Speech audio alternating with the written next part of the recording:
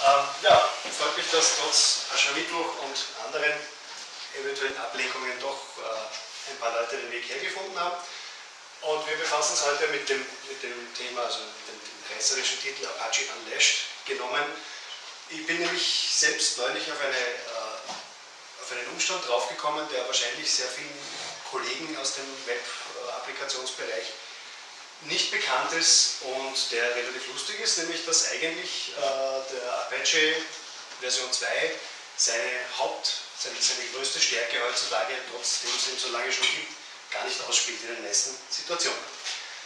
Ja, ähm, zu mir brauche ich jetzt eh nichts mehr sagen. Man kennt mich entweder eben als Vortragenden in den Lugger-Vorträgen oder als hier auch Initiator der Out-of-the-Box-Vortragsreihe. Der Roland hat schon gesagt, ich bin eben als Freischaffender äh, IT-Consultant unterwegs und mache die, die äh, IT-Welt ein bisschen unsicherer. Ja, äh, die nächste Folie hat mir meine Marketingabteilung reingeschmissen, gehen wir in Niedersachsen. Wir sprechen also über den Apache. Ich möchte vorausschicken, zwei, zwei äh, Schwammigkeiten erlaube ich mir heute. Das eine ist, dass ich den Apache Apache nenne, obwohl er eigentlich HTTPD heißt, weil die Apache Org das Apache-Projekt betreut einen ganzen Haufen von Projekten, da gehört das Spam Assassin dazu, da gehören andere Dinge dazu. Also ich vereinfache hier. Wenn ich Apache sage, dann meine ich nicht das Apache-Projekt, sondern den HTTPD aus dem Apache-Projekt. Weiß übrigens irgendwer, woher der Apache seinen Namen hat? Also so Bernd Peter Roland wahrscheinlich war nicht ausgeschlossen, oder? Weiß es jemand nicht? Sagen wir mal so. Gut. Äh, ja, in den frühen 90er Jahren ist das Web erfunden worden und das National Center for Supercomputing Architectures, NSCA, da ist seine Abkürzung, hat den ersten wirklich äh, praxistauglichen Webserver programmiert. Der hatte aber ein paar Macken und diese Macken hat man durch einen Patch, A-Patch, gefixt und dann war das A-Patched HTTP Daemon und davon ist Apache entstanden. Und so sieht man auch in der Geschichte, dieses, diese Diagramme zeige ich immer ganz gerne, wenn es um, das Thema Open Source oder Apache geht, weil das ist einfach das Zugpferd im Open Source Umfeld oder im Freie Software Umfeld. Hier ist die Verbreitung äh, der, der Webserver unter, also relativ gesehen und hier in absoluten Zahlen. Und da sieht man also, der NSCA war am Anfang der einzige oder halt einer der wenigen. Dem hat relativ schnell der Apache den Boden weggefressen.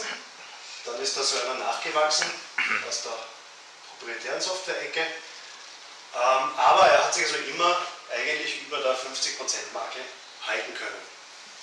Also es ist der dominante Webserver heutzutage. Das Web wird vom Apache getrieben. Ganz egal, was man da jetzt an, an Modeerscheinungen, Google ist Webserver, Nginx und so weiter, da sieht man hier, die kommen im Moment recht stark, aber der Vorsprung ist also immens. Sprich, wenn wir über das Web, über Webserver sprechen, sprechen wir heute eigentlich über den Apache. Interessant an dem Chart übrigens, äh, das sind jetzt die absoluten Zahlen. Ich kann mir nicht erklären, was da Mitte 2011, Mitte letzten Jahres passiert sein soll, äh, dass also dermaßen viele Apache-Instanzen dazugekommen sind. Das klingt so, als hätte jedes DSL-Modem heute einen Apache-Server drauf oder so.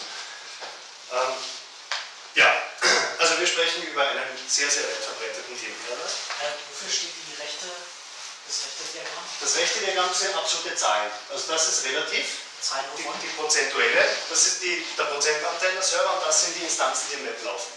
Also da oben ist die, die Einheit, ja, das ist dann blöd reingerutscht, das sind ups, ups, 107 Millionen 107 Millionen Apache-Server laufen zurzeit weltweit. Das ist, wenn man Netcraft glauben will. Gewaltig, wenn man Netcraft glauben will, ja. Ob das jetzt physische Server sind, virtuelle Server, also bei Netcraft kann man das nachlesen, aber die, die verfolgen das jetzt schon einige Zeit wie man sieht. Also die Kurve gibt es ja schon seit fast dem Anfang.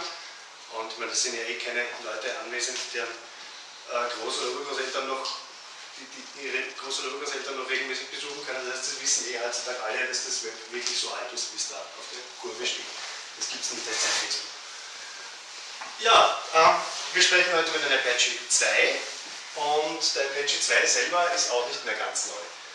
Der Apache 2 war ein großer, großer Meilenstein die Apache Foundation hat äh, 1999 schon, also vor, vor, fast 13 Jahren oder guten 12 Jahren, ähm, hat also erklärt, ja, sie wollen jetzt den Apache 2 deshalb äh, in, auf, in, die Welt setzen, weil sie einen skalierbaren Ansatz brauchen für Hochlast-Webserver. Und Sie brauchen also einen, einen äh, Hybridansatz, der sowohl Prozesse wie auch Threads verwendet, um dem, dem äh, boomenden Internetmarkt oder Web-Applikationsmarkt äh, eine leistungsfähige Antwort entgegensetzen. Das Licht der Welt hat dann als stabile Release 2.04, glaube ich, war die erste, äh, wirklich als, als stabile Release bezeichnete, hat der Apache 2 am 6.04.2002, also vor nahezu zehn Jahren, ähm, das Licht der Welt erblickt. Ich hake auf dem Datum deswegen so rum und auf diesen Daten werden wir danach einen lustigen Fakt, ein lustiges äh, Fakt sehen werden. Was ist jetzt neu, was ist jetzt speziell? Ähm, einerseits das Hauptthema, das, um das es mir heute geht, Threading ist dazugekommen, also das, das Multiprocessing von Apache ist von einem Forking-Modell auf ein Threading-Modell umgebaut, erweitert worden. Details kommen noch. Dadurch eben eine verbesserte Skalierbarkeit. Man kann also mehrere Applikationen gleichzeitig bedienen, mehrere äh, Clients gleichzeitig bedienen. Nebenbei äh, ist die Konfiguration vereinfacht worden. Also ich kann mich noch lebhaft erinnern an meine Umstellung vom 1.3 auf den, auf den 2er. Äh, ich habe aufgeatmet, weil ich damals gerade frisch eingearbeitet habe in das Thema und eben mit Bind Address und Port und da habe ich immer alles ver verwechselt oder vergessen. Äh, das ist so eine Direktive hat zwei andere ersetzt. Die virtuellen Server sind einfacher ansprechbar über einen Servernamen, das wird damals neu und man hat überhaupt einen ganzen Haufen alte gewachsene äh, Direktiven ersetzt durch neue. Alt ist insofern gut, dass das Projekt damals gerade mal sechs Jahre alt war. Ähm, ja, dann sind ein paar wesentliche Module überarbeitet worden. Äh, Mod auf LDAP ist, glaube ich, praktisch neu gemacht worden. Das Mode Proxy ist wichtig dazugekommen. Mode Headers ist auch äh, für, für Web-Applikationen sehr spannend. Und es wäre nicht ich, wenn ich nicht hier anmerken würde, dass es im IPv6 Support im Apache 2 ja, wenn wir jetzt über, über uh, Multiprocessing und Skalierbarkeit reden, müssen wir mal erklären, was ist da dazugekommen. Ähm, das, das, das Multi, also MPM steht für Multiprocessing Module. Das ist der Teil vom Apache, der dafür verantwortlich ist, wie der, der Apache-Server mit mehreren Anfragen umgeht. Es gibt eben jetzt zwei Module, das Modul Prefork, das gab's, das ist im Prinzip die Art, wie der Apache 1.3 arbeitet und wie heute immer noch die meisten Apaches arbeiten. Mit jedem neuen Request, äh, mit jedem neuen Request wird ein einzelner Prozess betraut. Der Apache forkt äh, beim Start eine gewisse Zahl von, von äh, Worker-Prozessen, damit er einen gewissen Pool an Prozessen vorrätig hat, die er, die er dann beschicken kann mit den Anfragen und kümmert sich dann im Lauf darum, dass er immer genug, genug äh, Idle-Prozesse hat, um neue Anfragen beantworten zu können. Der Vorteil davon ist, ich habe eine saubere Trennung der, der, Prozesse und somit also der Requests. Ein Client-Request liegt, landet in einem Prozess und wenn mit dem Prozess irgendwas passiert, wenn der, wenn der verreckt, wenn der äh, durchdreht, dann ist der betroffen und kein anderer. Das neue, das MP, also neu, zehn Jahre, das, das zehn Jahre junge NPM-Worker-Modul, man hat jetzt eine, eine Misch, einen Mischansatz zwischen Threads und Prozessen. Aber im Prinzip kann man sagen, wenn ein neuer Request reinkommt, dann äh, wird in einem Worker-Prozess, der gerade läuft, einfach ein neuer Thread gestartet für diesen, für diesen Request. Aus dem Thread heraus wird es beantwortet und durch, diesen, durch diese Mischung aus, aus, aus Forken und Threaden laufen weniger Worker-Prozesse Worker und in diesen laufen halt einzelne Threads. Die kann man dann hier einstellen über diese Threads per Child-Direktive. Riesenvorteil davon ist, man hat einen geringeren Speicherverbrauch und äh, die ganze Sache reagiert ein bisschen flinker auf Lastwechsel, weil Threading, also Threads aufzumachen, schneller geht als Prozesse zu starten. Denn was muss ich machen, wenn ich, wenn ich, wenn ich forke? Ähm, ein neuer Prozess ist in, in Unix-Umgebung einfach eine 1 zu 1 Kopie des bestehenden Prozesses. Da wird also der, das, das, Datensegment im Speicher wird kopiert. Es werden die File-Handles, oh, Bernd kriegt Ausschlag. Lassen wir es mal vereinfacht so stehen. Also im Wesentlichen wird eine Kopie des Prozesses erzeugt mit all dem ganzen Preporium. Das braucht Zeit, das braucht Ressourcen. Und dann ist, entsteht ein neuer Prozess mit einer neuen Process-ID, mit eigenen File-Handles und so weiter der ist komplett getrennt vom alten Prozess, also vom, vom Parent-Prozess. Ähm, das ist ein Vorteil und in, eben, weil ich schon gesagt habe, wenn, das Child, wenn der Child-Prozess irgendwelchen Mist baut, tut das dem Parent nicht weh. Ähm, es hat aber auch Nachteile. Die Interprozesskommunikation zwischen zwei Prozessen ist vergleichsweise schwierig. Da muss man halt Name-Pipes äh, verwenden oder Shared, Shared, Memory oder andere, äh, ja, vielleicht sogar Sockets oder andere, andere Techniken. Man muss also aus diesem Prozess raus durchs Betriebssystem und in einen anderen Prozess wieder rein. Und wenn so, wenn so Kindprozesse ähm, ihren Parent verlieren, ihren Papa verlieren, dann laufen sie als Zombies durch die Landschaft und das macht sich auf dem Server auch nicht schick. Die kann man nämlich relativ schwer wieder in den, in den Griff kriegen. Das ist so der, der Nachteil an, dieser, an, diesem Forking. Beim Threading jetzt äh, entsteht der neue Prozess, im Prinzip ist es ja kein Prozess, also der neue Thread entsteht im selben Prozess, er bleibt da drinnen. Es wird kein neues großes Datensegment aufgemacht, es wird nichts, keine File-Handles kopiert, gar nichts, ähm, dadurch haben wir einen geringen Overhead, weil wir uns eben das Datensegment und die File-Deskriptoren und das alles teilen. Das geht schneller. Äh, es geht vor allem auf den modernen Multicore- und Multiprozessor-Architekturen viel schneller, weil die also die Prozesse wirklich, die Threads wirklich zugleich abarbeiten können auf ihren verschiedenen Cores. Und äh, die Interprozesskommunikation ist keine Interprozesskommunikation. Wir sprechen, wir, wir, liegen im selben Datensegment, alle Threads. Das heißt, man schreibt sich einfach gegenseitig in den Variablen herum. Und das ist genauso gleich der Nachteil. Ja? Wenn der Programmierer hier nicht weiß, was er tut, dann schießt er sich natürlich wunderbar ins Knie. Und ja, Jetzt haben wir es, ich habe es schon angedeutet, wir haben es in der Apache-Welt derzeit mit, mit einem Haufen Legacy zu tun eigentlich, weil eben die meisten Apache eben noch immer mit dem, mit dem Pre-Forking-Modell äh, arbeiten. Warum ist das so? Ein Argument ist die Sicherheit. Und da habe ich zwei Argumente gelesen, da kann ich einfach nur schmunzeln. Das eine ist also, Threading in Apache ist zu neu. Das hat äh, in den letzten Monaten wieder jemand in, in einem, in einem äh, Artikel über, über Multiprocessing im Apache geschrieben. Also das ist keine Aussage von, von 2003 oder so, sondern das ist 2011. Ähm, der Apache 1.3 ist stabil und gründlich getestet. Das ist also ein sicherer Server. Diesen Leuten muss ich sagen, ja, vor ein paar Wochen hat die Apache Foundation den Support für 1.3 eingestellt. Also die müssen sich jetzt wirklich was überlegen. Ja, es ist, es ist noch nicht lang her. Sie haben sie lang, sie haben sie lang mitgezogen, den 1.3er Apache. Aber jetzt ist Schluss. Also dieses Argument ist auch nicht mehr so prickelnd. Und ein anderes Argument ist PHP.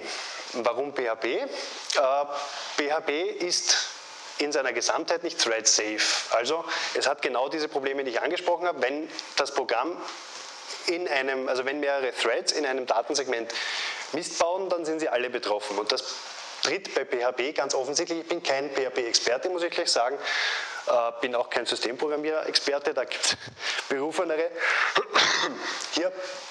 Ähm, also ich kann nur die Literatur zitieren und das, da, da, gibt es einen Streit, ob jetzt das PHP selber schuld ist oder ob es die Bibliotheken sind, die, gegen die das PHP gelingt ist. Auf jeden Fall ist das ganze Konglomerat nicht thread safe. Man kann es in verschiedenen äh, Diskussions-, also Mailinglisten von Typo 3 über Drupal und andere Content-Management-Systeme nachlesen.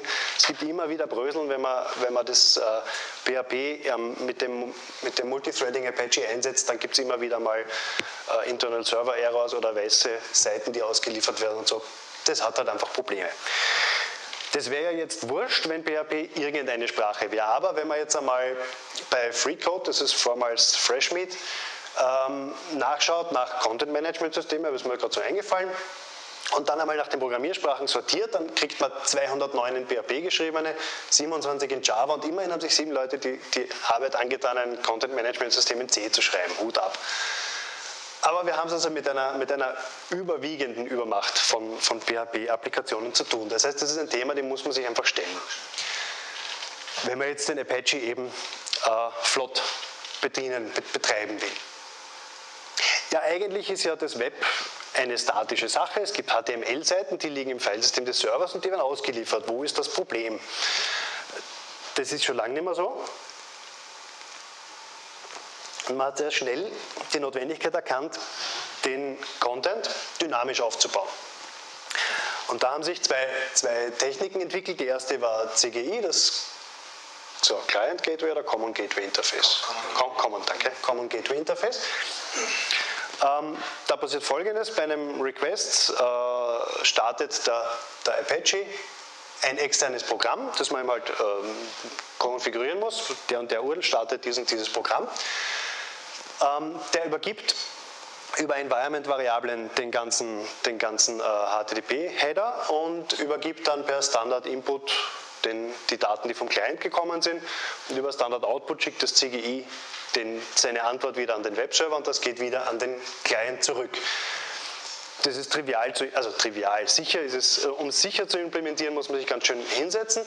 Aber mit den, mit den entsprechenden Bibliotheken und Modulen, die es für Perl, C, Python und sonst was gibt, ist so ein CGI-Skript schnell runtergeschrieben, funktioniert sehr einfach.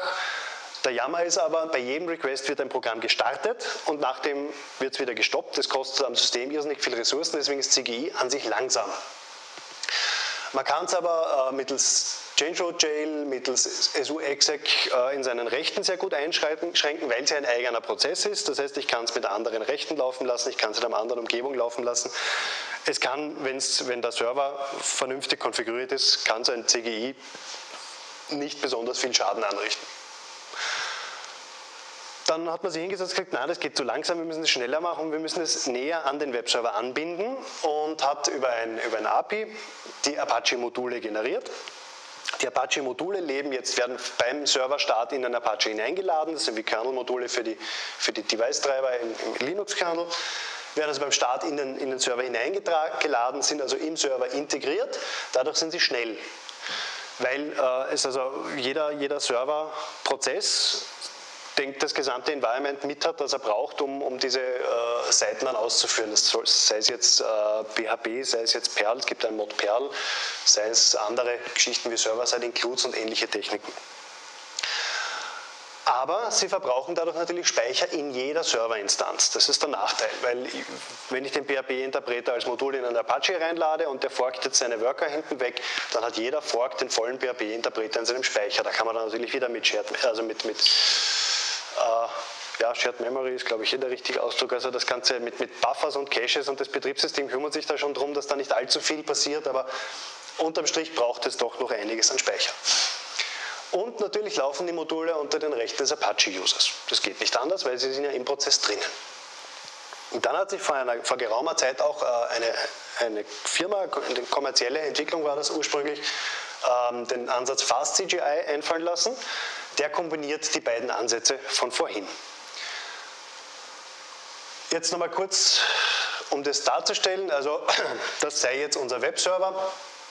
Schlimme, grobe Vereinfachungen sind hier, aber es, ist, es geht um, um, das große Bild. Also ich habe hier meinen, meinen Listener-Prozess, der auf den Port 80 bindet und seine, schon wie besprochen, also seine, seine Worker da hinten wegforkt, die auf Connections, auf Requests warten. Wir kennen das aus Diagrammen, Pfeile, also Blitze bedeuten immer Problem. Das erste Problem ist einmal, hoppla, ein Client will was von unserer Website. Der kommt da daher, der Listener teilt die Arbeit irgendeinem Worker zu, der Worker sieht, oh, das ist ein CGI, das muss ich ausführen und führt über ein exec hinten die Applikation, also das CGI aus. Exec heißt, ich muss eine Umgebung starten im Betriebssystem, ich muss da äh, Speicher allozieren, ich muss einen Prozess starten, ich muss File-Deskriptoren aufmachen, pipapo, Process-IDs vergeben und und und. Dann macht das Ding ein paar Sekundenbruchteile was und nachher schmeißen wir das alles wieder weg. Das ist, deswegen ist da der Blitz, das ist teuer. Das ist, deswegen ist CGI so langsam. Da kann ich das Skript so schnell schreiben, wie ich will. Einfach der Aufruf des Skripts äh, und das, das nachher wieder niederreißen, ist einfach unnötige Arbeit. Beim Apache-Modul schaut die Sache eben anders aus. Wir haben hier wieder unseren Listener, unsere, unsere Worker und hier ist eben die Applikation jetzt als vereinfacht als solche bezeichnet. Also das Im Wesentlichen ist ja der PHP-Interpreter, die paar PHP-Codezeilen, die dann hinten dran sind, fallen dann nicht mehr so ins Gewicht. Äh, die liegen da jetzt in jeder Instanz komplett drinnen. Da sieht man schon, ja, das ist zwar eng miteinander verschränkt, aber es braucht halt einfach viel mehr Platz. Und wie macht das FastCGI das jetzt? Das, ja, zum, zum einen, es gibt heutzutage zwei Module. Ich werde es immer noch FastCGI nennen, einfach weil ich das so gewohnt bin. Ähm, auch wenn das Modul heutzutage Mod FCGID heißt und ein Teil des Apache-Projekts ist. Es gibt nämlich zum Beispiel unter Debian zwei, äh, zwei Fast CGI oder CGI-Pakete. Äh, das eine ist eben Mod Fast CGI, das ist das alte, und das andere ist das FCGI. Die sind zwar vom Protokoll her kompatibel, aber es ist nicht das gleiche Modul. Also heutzutage sollte man das Mod FCGID verwenden. Das D hinten bezeugt, deutet schon an, hier läuft also ein Daemon, der Fast CGI Daemon, der sich darum kümmert, dass einerseits äh, über einen, einen, Socket die Kommunikation zum Apache-Server stattfindet und die Requests an ihn weitergeleitet werden. Und von der anderen Seite startet er diese, diese äh, CGI-Programme Ähnlich wie der Apache das mit seinen Worker-Prozessen macht, startet der FastCGI-Daemon seine, seine äh, CGIs hinten im Hintergrund. Das sind, die muss man allerdings so programmieren, dass sie nicht nach jedem Request terminieren, sondern dass sie nach einem Request wieder auf einen neuen Request warten. Also die müssen re-entrant heißt das, glaube ich, geschrieben sein. Also die, Fakt ist, sie müssen also sie müssen loopen und schauen, habe ich was zu tun. Ähm, der FCGI-Daemon kümmert sich dann eben auch darum, dass es immer, wieder, dass es immer genug äh, Backend-Prozesse hinten gibt, folgt bei Bedarf welche nach und zwar eben vorzeitig wieder, dass das dann im Request-Fall nicht so, nicht so äh, zu Buche schlägt. Und was man dem noch einstellen kann, ist, dass er jedem einzelnen äh, Prozess, den er hinten laufen hat, nur eine bestimmte Zahl von Requests zuordnet und ihn dann killt. Das ist dann nett, wenn, wenn diese CGIs irgendwie schlampig geschrieben sind, Memory Leaks haben, andere Bugs haben und halt irgendwie beginnen im System herumzuwachsen, herumzusauen, Sachen anzu, anzuhäufen, die sie nicht tun sollten. Man kann sagen, nach 500 Requests wird der weggekillt und ein neuer für ihn gestartet. Ja, äh, er erhält seine Anfragen eben über einen Socket. Das ist der Punkt. Das kann eben natürlich ein IP-Socket sein und wenn es ein IP-Socket ist, dann muss der FCGI-Daemon und das ganze FCGI-Grafel nicht auf derselben Maschine laufen wie der Apache. Und hier habe ich schon einmal eine Möglichkeit, ein wunderschönes Load Balancing zu machen. Ich kann hier einen Frontend-Server haben und im Backend meine Applikationsserver, die die eigentliche Arbeit tun. Da kann ich mehrere davon haben. Wenn das irgendwie großen Datenbankgeschichten sind, die da dahinter laufen, dann habe ich sowieso nochmal einen Datenbankserver dahinter. Aber wenn die Applikation an sich viel tun muss, um, dies, um dies, den Request abzuarbeiten, ist es durchaus sinnvoll, das vom, vom Apache eigentlich zu trennen. Und dann kann er natürlich die FCGI-Daemon-Prozesse auch noch frei konfigurieren und schauen, wie viele das sind. Wie schaut das jetzt aus? Ähm, ich habe jetzt deutlich weniger Worker, weil ich, also jetzt, wenn ich, das, wenn ich den Gedanken komplett zu Ende gehe, wir, wir haben jetzt schon umgeschalten vom, vom Prefork Apache auf den Worker Apache, also auf den Multithreaded. Ich habe deutlich weniger Worker, weil jeder Worker für die Requests Threads aufmacht. Diese Threads verbinden sich dann mit dem FCGI-Daemon über den Socket, der eh aufrecht ist. Und der kümmert sich, dass die Applikationen die Requests bekommen. Man sieht also rein visuell schon, das Ganze ist wesentlich schlanker und nicht auf meinen Grafiken hier, sondern das haben sich auch Leute überlegt und ausprobiert und äh, gemessen. Die Quelle zu diesen Daten ist, ist am Ende. Ähm, hier gibt es einen Vergleich, also im, im, einerseits einmal den, den Prefork Apache mit, mit PHP-Applikationen unter FCGI-Daemon, also unter FastCGI-Daemon und unter ModPHP. Da haben wir es also mit 420 gegenüber 351 Megabyte ist der FastCGI-Daemon hier im Nachteil, weil er einen Overhead hat, dadurch, dass er einige Sachen ständig stehen hat. Im Worker allerdings, wo ich ja weniger Apache-Prozesse habe und damit weniger, äh, weniger Speicherverbrauch eben einmal vom, vom, vom, vom Webserver her schon, macht sich das aber dann schon deutlich bemerkbar. Da kommt man, also im, da kommt man dann schon allein vom Speicherverbrauch unter das Mod PHP. Von der Performance ist es dann auch noch netter. Das Ganze hier hat die entsprechende Quelle auch noch nett gegraft und zwar am Samstag um 12 Uhr. Perfektes Change Management am Produktionssystem machen wir immer am Wochenende Änderungen, weil da ist niemand da, der dann was ausbaden würde. Also am Samstag um 12 Uhr hat der Kerl umgestellt vom, vom Worker, äh, vom, vom Prefork mit ModPHP auf Worker mit FastCGI. Und nachdem auf Linux-Maschinen der Speicher nie leer ist, sondern immer verbraucht wird, äh, müssen wir uns hier raussuchen, den, den tatsächlichen Speicher, der von Applikationen belegt ist, die grüne Kurve. Also das war so etwas über 1 Gigabyte und ist dann nach dem Switch auf, ich würde sagen, 300 MB oder so runtergesprungen. Da ist Sonntagnacht, da fängt offensichtlich der Backup an, wenn die Caches so raufgehen. Aber man sieht also, die, die Applikationen bleiben da schön unten. Ja, am Wochenende die keiner benutzen naja, dann hätte er die bis Samstag 12 auch nicht benutzt. Ich glaube nicht, dass Samstag 12 Uhr scharf, es wird, wird kein, keine Kreislerei oder Apotheke gewesen sein, die eine Online-Apotheke, die um 12 schließt am Samstag. Also eine Marktlücke. Ja, ähm, dann gibt es noch aber andere äh, schöne Nebeneffekte, nämlich wenn, was bei den heutigen Web-Applikationen eigentlich immer da ist, wenn hinten der Datenbankserver werkt, dann kriegt er natürlich ständig äh, neue Connections, wenn neue, wenn neue Apache-Prozesse geforkt werden und äh, aufgebaut werden.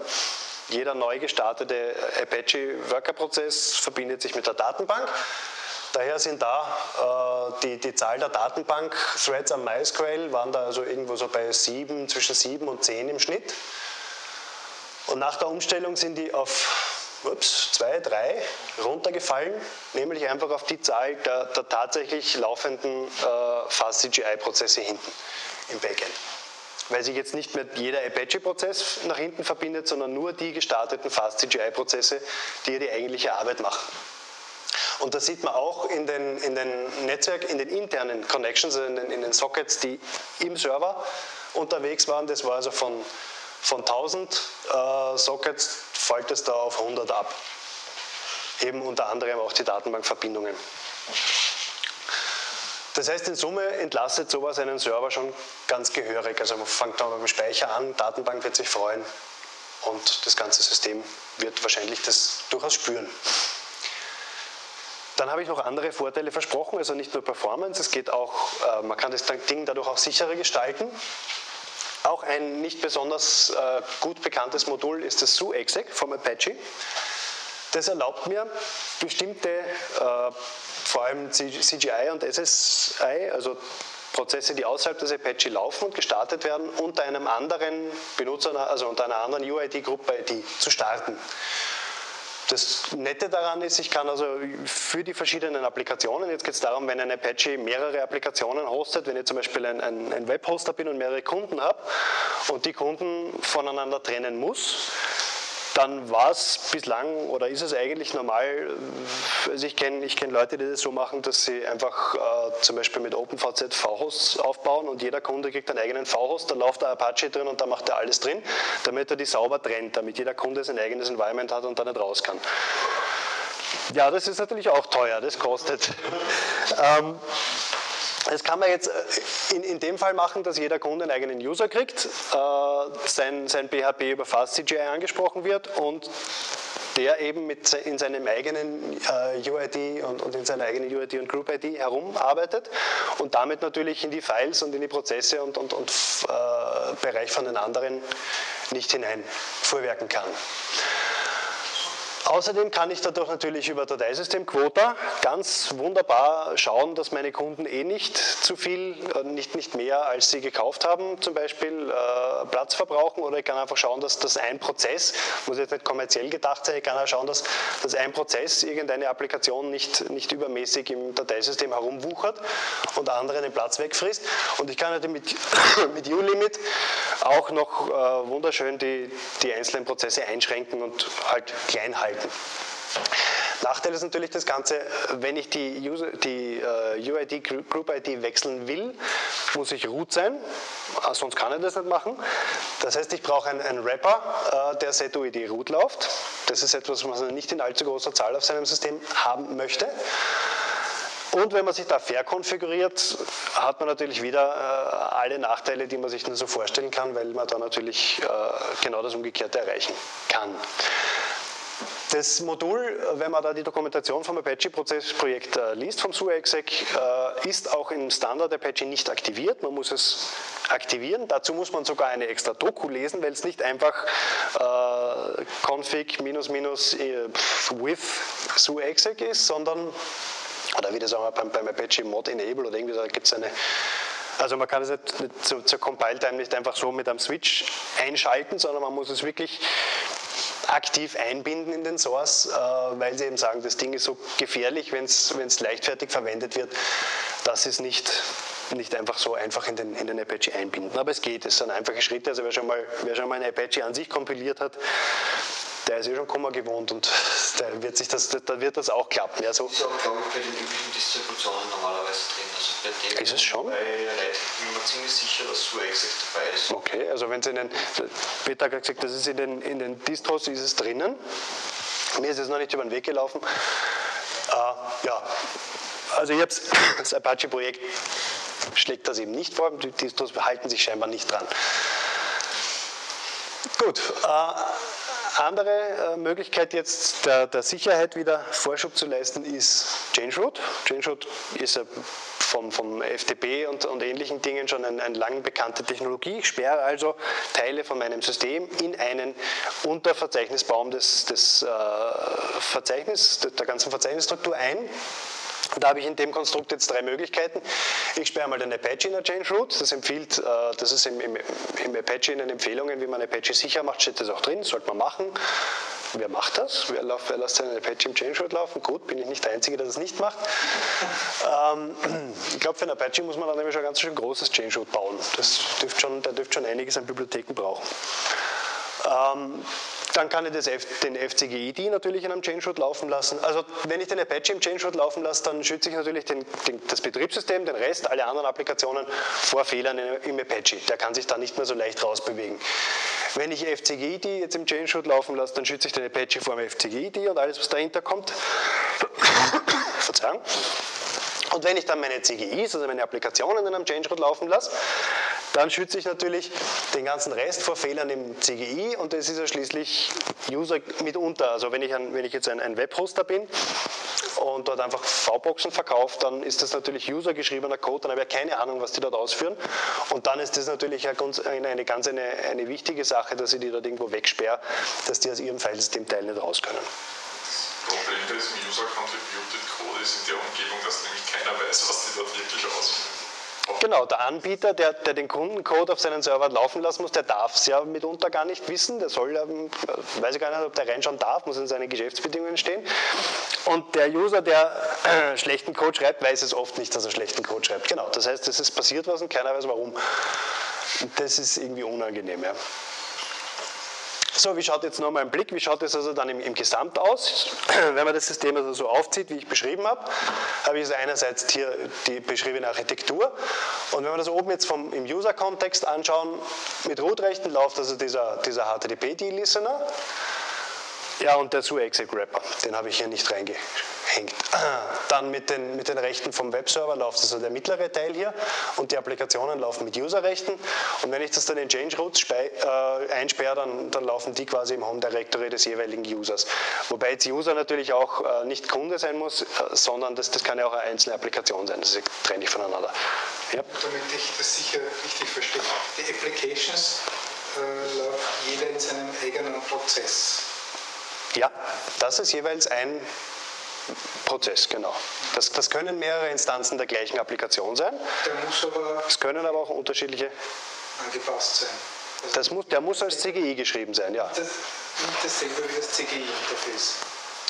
Ähm, es ist, nein, es ist nicht dasselbe. Also Fast CGI ist nicht, ist nicht exakt das gleiche wie, wie CGI, weil es ja schon einmal über ein Socket kommuniziert und nicht über Environment Variablen und Standard Input, Standard Output. Ähm, die Unterschiede sind aber nicht viel größer. Also ja, man muss seine Applikation natürlich umschreiben von CGI auf FastCGI, aber wir sprechen eben in der überwiegenden Zahl von PHP-Applikationen und da komme ich jetzt eh schon nahtlos auf die nächste Folie. PHP gibt es in zwei Varianten. PHP gibt es, also es gibt es in drei Command Line auch. Es gibt es als, als Apache-Modul oder als CGI. Wenn ich jetzt unter Debian zum Beispiel hergehe und sage, ich möchte äh, installiere mir das PHP 5 und den Apache, dann passiert folgendes, ich kriege den, den, den, Apache 2 NPM Prefork, also den, das alte System, plus das Mod PHP, also das Apache-Modul. Wenn ich hergehe und sage, ich will PHP 5-CGI, so ist das Paket unter Debian, unter Red Hat wird es ähnlich äh, heißen, dann kriege ich den Worker und das PHP 5 CGI.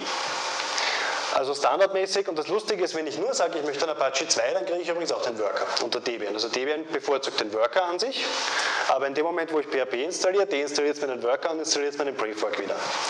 Außer ich sage eben, ich will PHP CGI. Und damit habe ich dann eigentlich schon das Rüstzeug, dass ich mich an die Konfiguration machen kann. Und die ist überraschend einfach. Ich habe jetzt ziemlich viel ausschweifend erklärt von wie, wo, was da alles zusammenspielt und wie schwierig das alles ist. Unterm Strich kommt es eigentlich auf die paar Direktiven zusammen in der Apache-Konfiguration. Also einerseits muss ich natürlich das Modul laden, ich muss einen Händler installieren, den FCGI D-Script ähm, für .fcgi. Und dann kann ich ein Connection Timeout setzen, da gibt es dann noch 20 Direktiven, die man da reinsetzen kann, um das Ganze zu tunen. Aber das ist einmal die Minimalkonfiguration, wobei den Timer brauche ich gar nicht drin. Und im Virtual Host sage ich dann einfach, da ich brauche meinen FCGD-Script-Händler für alles, was .php heißt. Und dann startest du bitte als Wrapper OSR lib CGI in PHP 5 für alles, was PHP heißt. Und ich muss noch exec CGI aktivieren bei den Optionen. Fertig. Das ist alles. Und das hier kann ich noch dazu, ich kann da zum Beispiel diese Sachen auch in eine Location-Direktive hineinsetzen oder eben in verschiedenen Virtual Hosts habe ich die natürlich immer wieder. Das heißt, ich könnte hier auch für, jede, für jeden V-Host oder für jedes Directory oder Location könnte ich einen anderen, eine andere PHP-Version angeben. Es gibt immer wieder, wenn, wenn die sich im Major Release von PHP ändert, gibt es immer wieder die Situation, juhu, es gibt eine neue PHP-Release, irgendwelche Programmierer sind ganz schnell und müssen sofort auf die neue Release und, und die neueste Version geht mit der alten gar nicht mehr, also PHP 5, PHP 4, das habe ich noch schmerzlich in Erinnerung, da gab es ein paar Geschichten, da habe ich zwei Applikationen betrieben, die eine ging nur noch unter 5, die andere ging noch nicht unter 5, nur was machen wir jetzt? Ist mit, mit dem Mod PHP unmöglich, ich kann nur ein Modul laden in den Apache, also nur ein PHP-Modul. In dem Fall ist es einfach, mache halt einen Wrapper für die alte Applikation und einen für die neue mit PHP 5, PHP 4. Ich kann die also parallel installieren, wenn es mir die Paketverwaltung von der Distribution zulässt. Ich weiß nicht, ob das, das, das uh, Debian glücklich ist, wenn man 4 oder 5 PHP parallel installiert. Das können wir ausprobieren. Das wird damit glücklich werden müssen, weil PHP ist extrem bekannt dafür, dass es nicht backwards kompatibel ist. Ja. Nicht nur zwischen 4 und 5 ist es inkompatibel, auch auch, auch bei meiner Releases gibt es immer wieder sicher, es fliegt immer wieder mal fliegen äh, Anweisungen raus oder kommen welche dazu, die sich ändern und so. Das Problem ist eh, unter PHP-Leidenden und, und Webserver-Betreibern ist es ja eh bekannt. Dass das, das bei, diesen, bei diesen klassischen Webpostern, die haben das Problem, dass sie dann 20 Kunden haben mit 20 PHP-Applikationen und es ändert oft damit, dass sie dann, weiß ich nicht, wie, dass jeder Kunde seine eigene PHP-Installation hat, weil weiß der gleich, was der verwendet und was er braucht. Also in der Welt Ja, und dann- abschminken zu sagen, ich mache mal upget install PHP und es funktioniert für alle. Ja. Und dann natürlich noch die Optionen, die das PHP mitkriegt. Der eine braucht dieses, der andere darf das nicht haben. Da gibt's ja die, das ist also hier alles, weil dem, dem kann ich ja natürlich. Der Wrapper muss übrigens kein Binary sein, da kann ich natürlich auch ein Skript haben, das dann irgendwas anderes aufruft. Oder da kann ich. Mit dem kann ich auch aus dem Apache Change Root in ein anderes, also wenn, wenn, das, ein, wenn das ein Skript ist, äh, kann, ich, kann ich über das, über das Jail vom einen zum anderen hinübergreifen. So da, durch, diesen, durch diesen Wrapper hier sind, sind, ist, ist man halt enorm flexibel. Und das Schöne ist, diese Flexibilität spielt sich aber eben nicht draußen im Filesystem ab, wo jeder das machen kann, sondern da habe ich es im Griff. Der den, der, der den Server verwaltet, der bestimmt, was ist flexibel und was ist nicht erlaubt. Ja, und dann, ja, Was macht der Wrapper im Regelfall? naja, ganz im, im, im Normalfall ist das genau, äh, dass, dass der bestimmt, wen der FCGI-Daemon als, als Interpreter für das, für das entsprechende Skript startet. Also, Also so wie, so wie beim klassischen Mod-PHP, du angibst, dass du für, für die Extension, für, wenn der File-Extension.php daherkommt, übergibst du es dem Modul. Genauso äh, entscheidest du hier anhand der Extension, wem übergebe ich, dieses, wem übergebe ich diese Datei, diesen MIME-Type, um ihn auszuführen. So, wenn ich es finster richtig im Hinterkopf habe, ist das, ist das im Idealfall das, das echte PHP-Binary. Im, Im Standardfall ist es das PHP-Binary, genau. Ich kann aber da jetzt nochmal einen Wrapper herumsetzen, der zum Beispiel das Sudo ausführt oder so. Oder sonst was. Oder, oder Change Root macht, auf der Ebene zum Beispiel. Also da kommt man, da brauche ich, ja, da, da kann ich unheimlich viele Dinge tun. Ich kann da nochmal Umgebungsvariablen mitstopfen mit einem Wrapper und und und, was ich auch immer brauchen kann, was ich mir vorstellen kann. Was alles mit einem, einem Apache-Modul natürlich nicht geht, weil wenn das einmal drin geladen ist, ist es drin und aus und Ende. Wenn ich da mehrere äh, FCGI-Programme habe, ruft er mal für jedes seinen eigenen Wrapper auf, also einen eigenen Prozess. Ja, Ja. ja, klar. Also wenn ich, wenn ich unterschiedliche Rapper habe, ist natürlich, habe ich mindestens, mindestens so viele Prozesse laufen, wie ich Rapper habe. Oder eben mehr, wenn ich mich auf, auf schnelle Lastwechsel vorbereiten will. Was bei PHP im Speziellen nicht so sein müsste, weil der Interpreter kann Ja, genau. Interpretieren, aber das, davon weiß Ja, ja. Apache ja nichts. Na, aber das, das, das sage ich ja dem, also wie, wie viele von den, von den äh, FCGI-Händlern gestartet werden, das, das gebe ich, dem, das gebe ich da oben dem, dem FCGI-Demon mit in der Konfiguration. Da sage ich ihm definitiv, du Ja, startst mal von dem ich habe 20 jetzt oder von dem nur angenommen, 2. Ich habe jetzt irgendwie ein, weiß nicht, ein slash index.php und ein slash foo.php, dann muss er sozusagen für das index.php und für das foo.php zwei verschiedene Wrapper starten. So nicht, nein. Der, der, der gibt den Request, der Apache gibt den Request über seinen Socket an den FCGI-Team weiter. Der weiß, das ist eine PHP-Seite, die muss ich jetzt dort hingeben. Und, und welchen. Ähm, ja, und da kann ich eben, das kann ich da konfigurieren, wie viele, wie viele Prozesse ich jetzt da haben will, wofür. Aber es hat nicht mit dem URI zu tun. Also mit dem URL, mit, mit der Location. Also ich muss nicht für jeden, das wäre das wär ziemlich katastrophal, wenn ich also für jede, für jede einzelne Seite einen eigenen äh, FCGI-Wrapper laufen hätte, dann habe ich die Situation noch schlimmer als im, im ursprünglichen System. Weil dann habe ich einen Haufen statische Prozesse stehen, die die ganze Zeit nichts tun und ich auch nicht wegsterben lassen kann. Weil ich ja für jede Seite einen Vorrat haben müsste. Das ist nicht der Fall. Ich weiß nicht, ob ich das richtig verstanden habe. Mit dem, was jetzt auf, auf, vorne auf dem Slide steht, wird genau ein, ein FCGI getrieben. Ja. Und alles, was unter war, www, whatever, reinkommt, wird dann den abgeworfen. Alles an PHP-Requests. HTMLs wird statisch ausgeliefert von Apache. Und andere Sachen von anderen Händlern. Wenn ich jetzt noch eine zweite Directory, äh, Direktive hätte für war www, something else, Dann kriege ich einen zweiten FCG-Händler, also Rapper, laufen. Genau. Ja, äh, wo setzt man das jetzt in der Praxis ein? Oder wo könnte man das einsetzen? Ich immer, bin immer wieder darauf herumgeritten, Hochlastverhalten. Eben, ich spare ich spar Speicher ähm, und ich kann Multicore-CPUs besser nutzen. Das heißt, wenn ich, wenn ich äh, viel äh, stark oszillierendes Lastverhalten habe, wo im Normalfall der, der, der Prefork Apache immer wieder Prozesse forken und killen würde.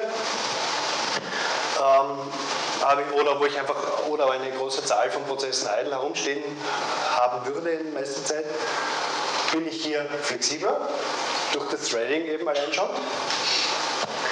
Dann, äh, wenn ich hohen Sicherheitsbedarf habe, kann ich eben mit SUEXEC und Change Root mich einsperren oder meine Prozesse wegsperren. Das mit dem Sicherheitsbedarf, also Sicherheit ist ja immer eine, eine, hat immer viele Facetten. Ich gehe jetzt einmal davon aus, dass wir Anwendungen betreiben, die mit einem relativ vernünftigen Mindset programmiert sind. Da fällt jetzt natürlich schon der ganze Haufen weg, vor allem von den Content-Management-Systemen, von den verbreiteten, aber ja, äh, bleiben wir bei der idealisierten Welt. Also das, man, man, kann seinen, man kann seinen Sicherheitslevel heben durch dieses System. Und eben das schon angesprochen, also ich habe von Webhoster Kundensysteme. Ich trenne also die Applikationen voneinander sauber. Äh, Ich kann über Quotas regeln, wer wie viel, über Disk-Quota regeln, wer wie viel Platz hat, muss jetzt nicht Logical Volumes aufmachen oder ähnliche Dinge dafür. Ich habe keine rechte Probleme. Ja, das ist auch noch so eine nette Sache. Wie ist denn das, wenn der Kunde jetzt mit FTP hochladet äh, und der, ladet, der hat seinen, seinen User? Naja, da muss man jetzt entweder alle Kunden in der Gruppe User und der Apache-Daemon läuft in der Gruppe User oder man macht es World Readable für Nein, das machen wir nicht. Ähm, wir setzen alle Kunden in die Gruppe www.data unter TV, also in die Apache-Gruppe. Das ist auch nicht so eine brillante Idee. Also das ist alles irgendwie ein Krampf. Ähm, ich habe es zum Glück noch nie für viele, für mehrere User äh, implementieren müssen. Ich wüsste jetzt nicht, wie ich das vernünftig mache.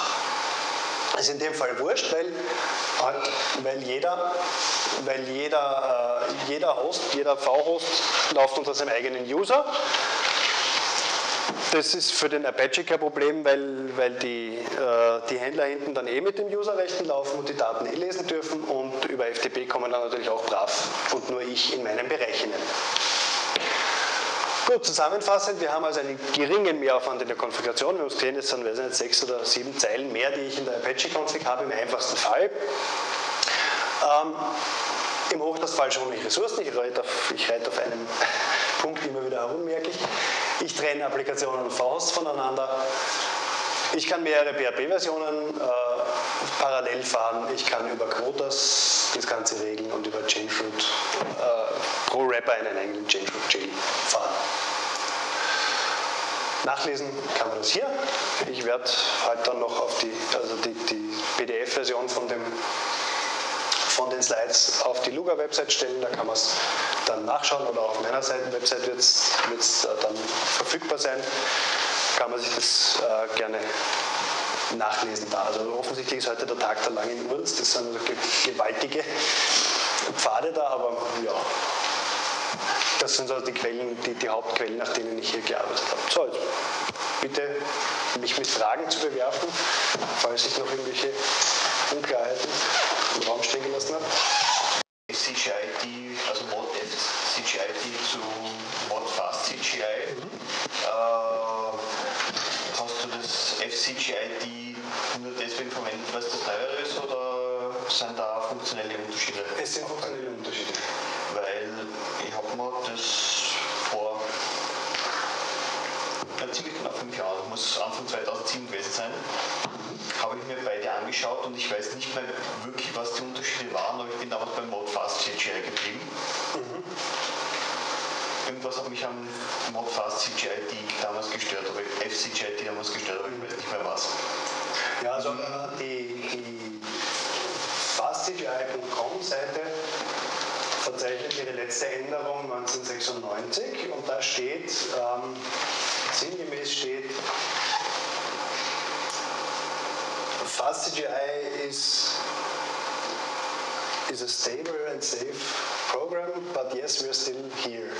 Also sie haben es nicht eingestellt, es gibt sie immer noch, aber es gibt halt einfach nichts mehr zu tun dran, so sinngemäß. Und es hat sie offensichtlich schon lange nichts mehr getan. Da, ich weiß von also ich habe vor einem Jahr, vor einem Jahr habe ich tatsächlich am eigenen Leib erlebt, dass ich einfach das falsche Modul angegriffen habe, instinktiv, und die Applikation, die gegen das andere kompiliert war, nicht funktioniert hat. Mhm. Also es war in dem Fall war es eine, eine, eine in C geschriebene Applikation, mhm. die gegen die äh, FCGID-Bibliothek mhm. kompiliert, gelinkt, gelinkt war,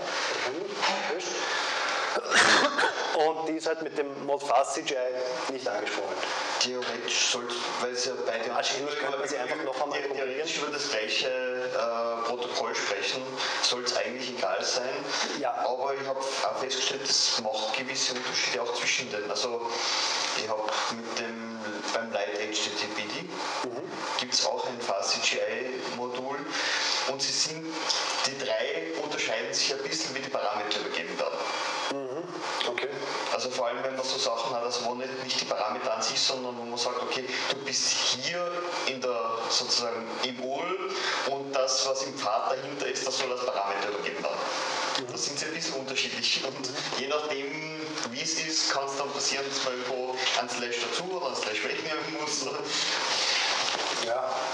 Ja, das, das Fast CGI ist an sich, eben es ist von einer Firma äh, kommerziell entwickelt worden ursprünglich.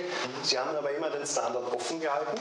Das steht auch überall, überall groß, das ist ein offener Standard und hin und her, deswegen kann ja auch das, der FCG-ID protokollkompatibel sein und sie sagen auch im Prinzip, sie machen das Gleiche. Aber wie der Peter schon beschrieben hat, das sind dann halt die subtilen Unterschiede. Äh, das Schöne an Standards ist, dass es so viele davon gibt äh, oder so viele gibt, um dazwischen zu wählen. Äh, ja, es gibt halt offensichtlich Interpretationsunterschiede und in der Praxis ist es halt so, ich habe es eben auch schon einmal erfahren, dass ein, ein, C, ein C geschriebenes CGI, das gegen den einen, gegen das eine kompiliert war, beim anderen nicht gelaufen ist. Aber es war in dem Fall eine Frage, das Modul auszutauschen. Im anderen Fall ist es nicht gereicht, sie gegen die anderen Bibliotheken noch einmal zu kompilieren. Äh, nachdem das als Daemon läuft mhm. und offensichtlich nur eine Verbindung hat, ist das nicht ein gewisses Nadelöhr, äh, dass das sozusagen alles serialisiert wird an dem Fast CGI-Interface oder ist das nur eine vereinfachte Darstellung jetzt äh, und, und äh, hat da ohnehin jeder Trade sozusagen seine Kommunikationsschiene äh, zum, zu den ja, der, Prozess dann durch? Der FCGID hat einen eine offene Verbindung zum Patch. Eine, also nicht Aber ein Board, sondern eine Verbindung. Eine, eine Socket. Also wird aber, wirklich alles sequenzialisiert. Ja, aber ich kann natürlich mehrere FCG-IDs starten. Das kann ich machen. Wenn ich sage, das ist mir einfach zu wenig, ich habe so viele Requests, da vorne aufschlagen, aber ich glaube, dass der Apache äh, vorne, der, der, muss ja mit einem neuen Request einiges machen, bis der fertig ist, den Request zu bearbeiten, dass, dass der gar nicht so schnell äh, die Request abarbeiten kann, dass er diesen Socket füllen kann. Ich glaube, ich weiß es nicht, ich habe es nicht ausgetestet, aber ich das ist einfach jetzt einmal so ein Gefühl. Die Frage, wie lang der sozusagen äh, FC, FC, CGID, Demon, wie lange der sozusagen für einen Request gesperrt ist, bevor er sozusagen für den nächsten. Das ist nicht, der, der lockt nicht, das ist, nicht, das ist kein Pipe in dem Sinn. Der, der, der macht nur Multiplexing. genau. Multiplexing von mehreren Apaches auf mehrere das heißt, äh, FCGI-Programme. Das heißt, der kann das, der kann das einem Prozess zuordnen ja. und ja. kann dann aber sozusagen weiterlaufen. Also er wartet nicht, bis der eine Prozess dann mhm. ja. genau, das Application fertig ist. Und viele Pfeilchen rein, viele Pfeilchen raus. Und die Application antwortet dann wieder retour. Ja. ja, ja. Es ist eben, Multiplex ist ein guter, guter Ausdruck. Das ist einfach, also es ist keine Pipe, durch die der Request rein muss und erst wenn der bearbeitet ist, kann der nächste rein. Das wäre katastrophal. Dann wäre das wirklich ein extremer Flaschenhals. Und dann wäre es so, wie es da ausschaut, optisch ist es jetzt ein Flaschenhals. Aber, Aber das ist jetzt nicht jeder Strich eine TCP-Verbindung. Nein. Sondern, sondern links alle Striche sind eigentlich eine TCP-Verbindung. Das ist alles, also, ist alles ein Socket, ja. Über das heißt, wir synchronisieren dann drauf den Zugriff hoffentlich. Das ist die Frage, ob nicht die Thread wirklich. Das war eben der Gedanke, also, also, dass der ja, Thread eine Verbindung hat. Das wäre sinnvoll. Ja, so, also so, so im Detail habe ich nicht reingeschaut, wie das Ding funktioniert Ihnen. Aber grundsätzlich ist die, in der Doku steht wunderbar, also es gibt einen Socket, über den der kommuniziert mit dem, mit dem Apache. Ein, ein Socket auf der FCGI-Seite. Die Frage ist, was auf der Apache-Seite Ja. Ja. Das ist natürlich wichtig. Ein Port oder ein Socket? Naja, nachdem ein Socket aus einem Port und einer IP-Adresse besteht in, in der IP-Welt und der auf einem Host läuft und einen IP hat, kommt das auf Silber raus. Ja, wie viele Verbindungen? Kann Socket ja. auf einer Adresse Also jeder HTTP-Worker hat sicher eine eigene Verbindung. Ob die Threads ja. innerhalb von einem Worker ihren sharen. Ja. Die Threads innerhalb des Workers müssen ja eh schauen, dass sie sich nicht gegenseitig ja. deadlocken. Also müssen sie sich auch ausmachen, wer jetzt den Socket bespielt. Ich stelle fest, da wäre Potenzial für einen Workshop.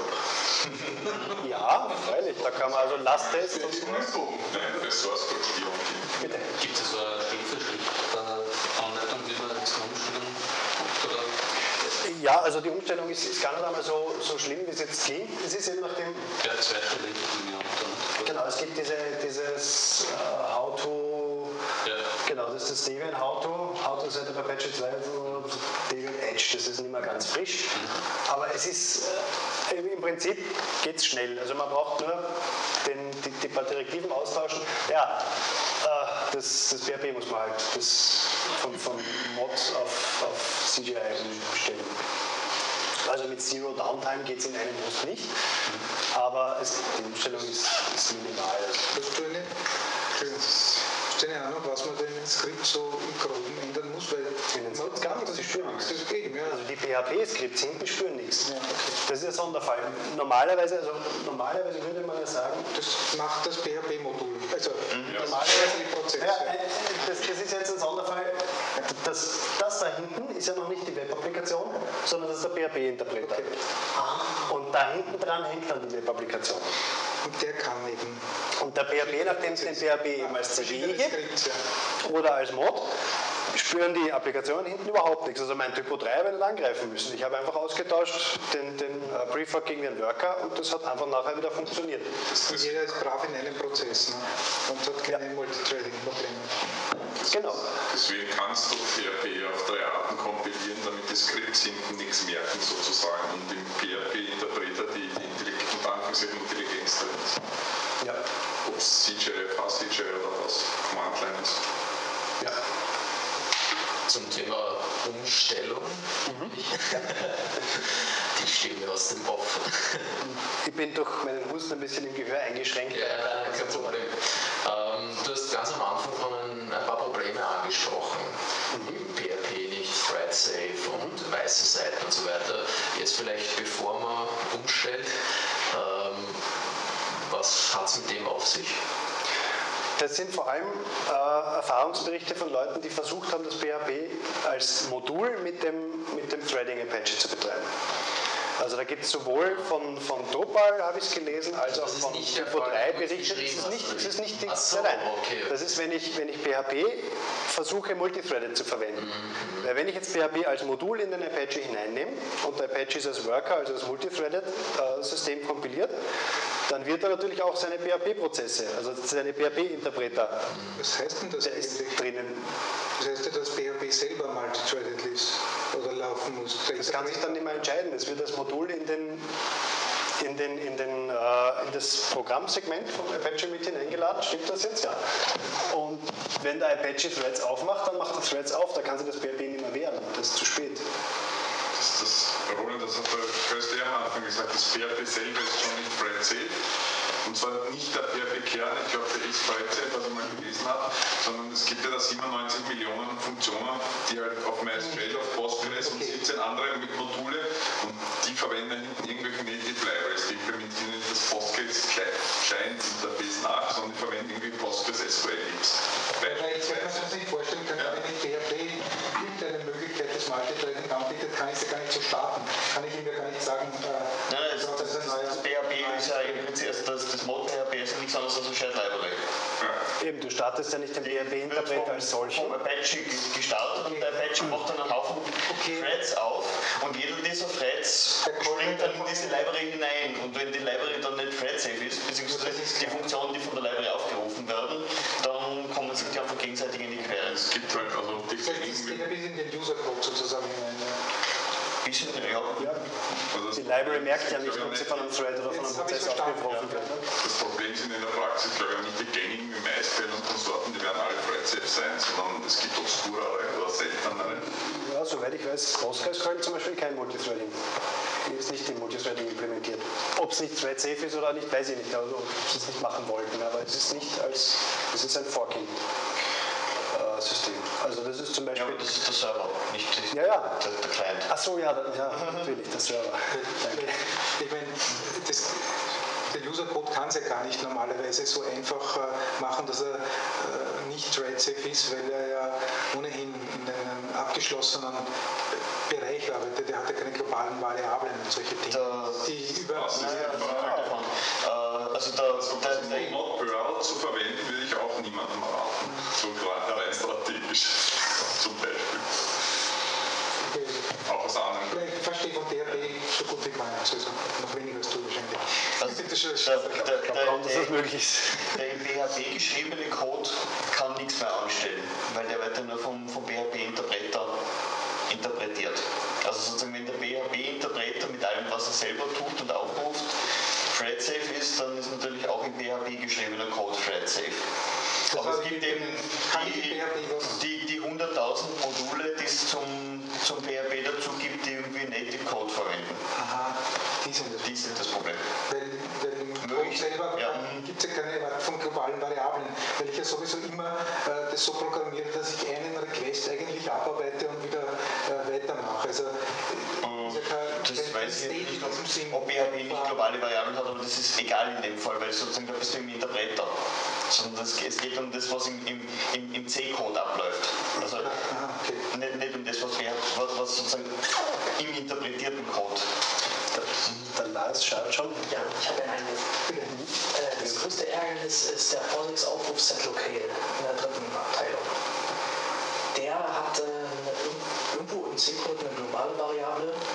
Das heißt, wenn, wenn jetzt eine PHP-Anwendung setlocale benutzt, um äh, Internationalization zu machen, äh, dann kann das passieren, dass am Anfang vom, von, während der Bearbeitung von dem Request äh, stellen wir jetzt mal um auf äh, DEAT. So, und jetzt kommt jemand anders und möchte Koreanisch und ist mitten im Aufruf im selben Thread von, von einem so einem großen Prozess da oben. Ähm, und dann der, der Rest läuft dann auf Koreanisch. So. Der auf, Deutsch. Ja, das Ist, ein, ist ein schönes Beispiel. Ja. Wenn nichts Schlimmeres passiert. Ne? Ja, Das ist schlimm, dass es kein Koreanisch kann. Dafür kann aber wieder, dafür kann PHP aber auch nicht. Stell, stell, stell dir das bei der Wikipedia vor. Du kriegst jede Seite, weil eine Million Leute aus 100 Ländern gleichzeitig darauf zugreifen. Du kriegst jede Seite, so jeden Absatz in einer anderen Sprache.